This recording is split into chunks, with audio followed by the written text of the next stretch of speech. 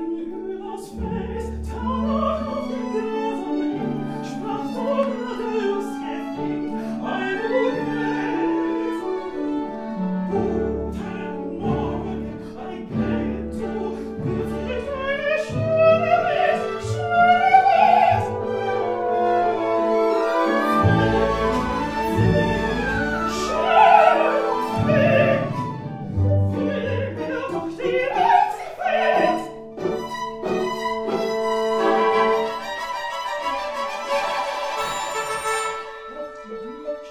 I almost died in 2009 when my aorta exploded, and the there were three things that I thought of as I was counting back from 100 as they were putting the anesthesia in my body.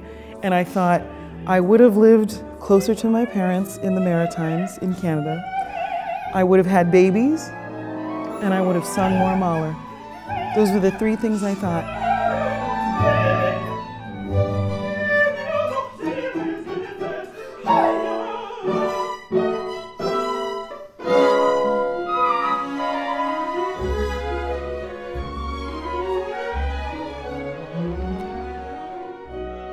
I also believe that now that like I'm a mom and I have like little eyes watching, that if I'm not authentic in everything I do, they're going to know that.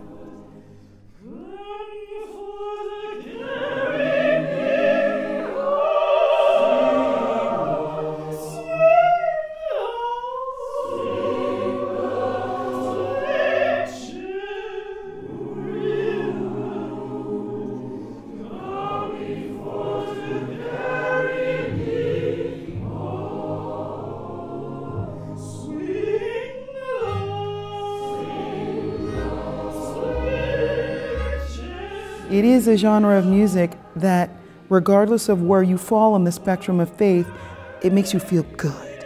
And it makes you feel included. And it makes you feel loved and elevated beyond this earthly coil.